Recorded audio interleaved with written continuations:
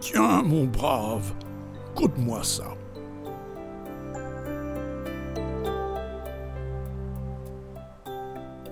Bonjour Père Noël, comment allez-vous? Et comment vont vos rennes ici en Laponie?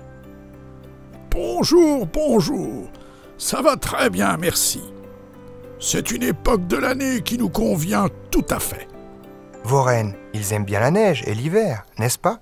Oh que oui, mes rennes sont très heureux en hiver et dans la neige. Ils n'ont pas trop chaud et ils ont pratiquement la moitié de l'année pour eux. Ils aiment l'hiver. Pouvez-vous nous dire où nous sommes exactement, là maintenant, en Laponie? Dans la municipalité de Pello. Pello n'est pas loin de la ville où je réside officiellement, Rovaniemi. Et ici, nous sommes sur le mont Rita. Père Noël, pourquoi la région de Pello en Laponie est-elle si importante pour vos rennes Eh bien, c'est parce qu'il y a tellement d'espace libre pour eux. Ils peuvent aller et venir, courir dans la forêt et manger toutes les bonnes choses dont ils ont besoin. Et en plus, c'est à Pello que se tient chaque année la course de rennes. Je viens ici chercher les jeunes rennes les plus rapides pour qu'ils entrent dans notre troupe. Pello, non seulement n'est pas loin de ma ville de Rovaniemi, ce n'est pas loin non plus du pays voisin, la Suède. Et cette frontière entre Pello et la Suède est, figure-toi, la ligne qui sépare deux fuseaux horaires. C'est parfait pour s'exercer au franchissement d'une zone horaire à une autre. Et pourquoi les fuseaux horaires sont si importants pour le Père Noël et les rennes C'est un peu un secret.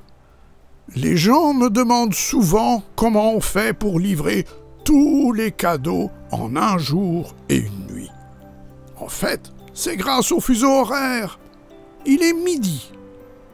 Mais dans un autre coin du monde, il y a des enfants pour qui c'est l'heure d'aller dormir.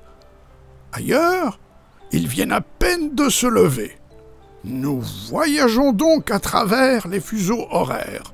Mais quand je te l'ai dit, c'est un peu un secret. Combien de rennes y a-t-il en Laponie? Plus de rennes que d'habitants. Certains disent qu'il y a 200 000 rennes environ en Laponie. Mais la vérité, c'est qu'il est impossible de les compter. Ils sont trop rapides. Et vous, Père Noël, combien de rennes possédez-vous? Oh, je sais pas exactement. Ils sont toujours en train de courir d'un endroit à l'autre. Mais je peux te dire que j'en ai suffisamment. Vos rennes, comment s'appellent-ils? Ils ont toutes sortes de noms.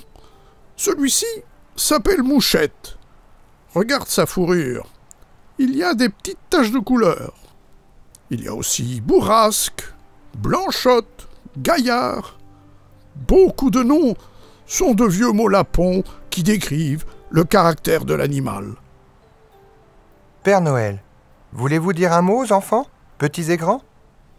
Tous mes meilleurs voeux et toute mon amitié depuis la merveilleuse Laponie. Passez du bon temps et soyez sages. C'est bientôt Noël. Au revoir.